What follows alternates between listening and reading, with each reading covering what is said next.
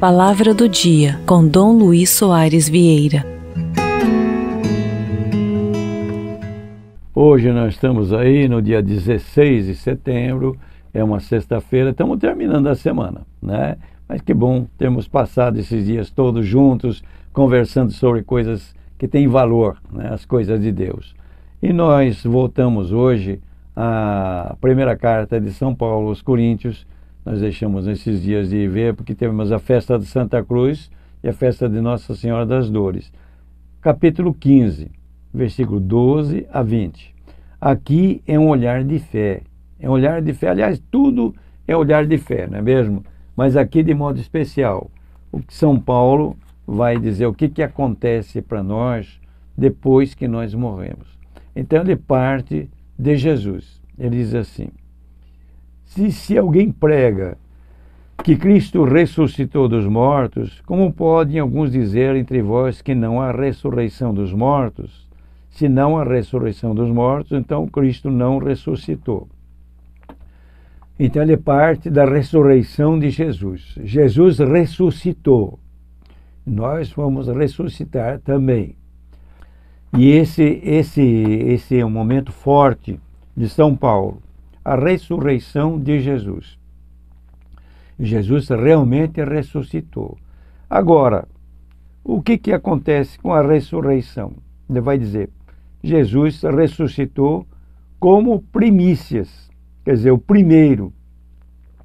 E nós vamos ressuscitar ao nosso tempo. Vai chegar o momento em que nós seremos semelhantes a Jesus. Então ele tem a frase: Cristo ressuscitou dos mortos como primícias dos que morreram.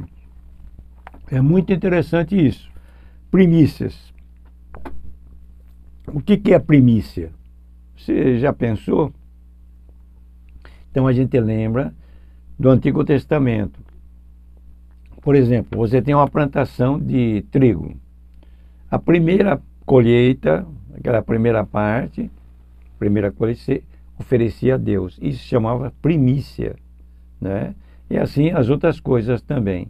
O filho mais velho, o filho que nascia, o primeiro filho, era consagrado a Deus, era primícia. Então, ele pega esse, esse conceito, vamos dizer, de primícias e aplica a Jesus. Jesus ressuscitou, mas ressuscitou mesmo. Nós sabemos, é verdade. Isso não é uma invenção, não é um, uma história de carochinha, não. Ele ressuscitou mesmo. Mas não ressuscitou só para ele ressuscitar, ele ressuscitou para nós também sermos ressuscitados. E vai chegar o tempo da nossa ressurreição. Então, o que, que acontece conosco depois que nós morremos? Primeiramente, não é o fim de tudo, não. Jesus, depois em outro trecho, ele vai dizer né, que a vida continua.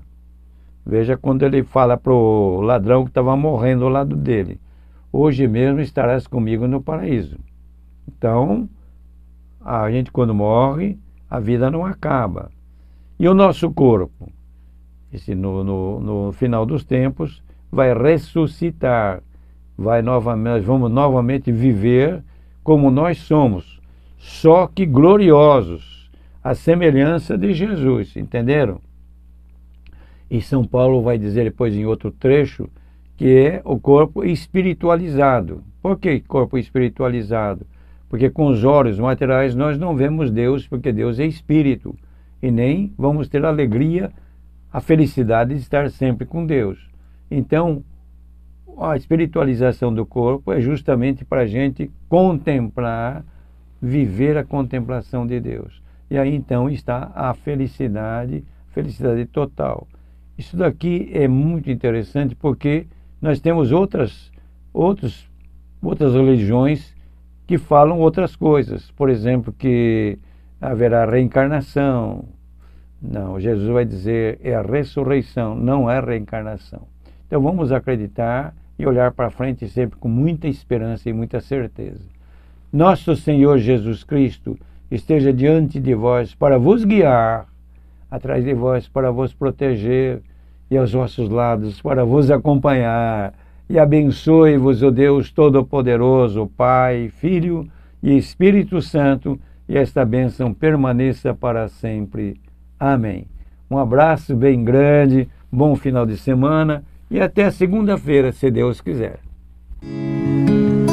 Palavra do Dia, uma produção Rádio Desterro FM 106.5. Se inscreva no nosso canal do YouTube Desterro FM.